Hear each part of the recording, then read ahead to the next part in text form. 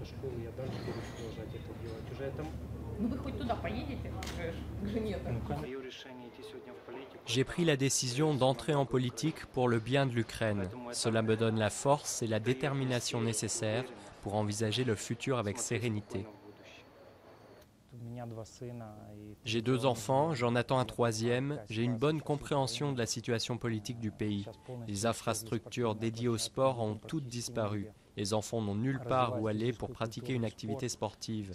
Et 70% des jeunes Ukrainiens ne sont pas capables de réussir de simples tests physiques.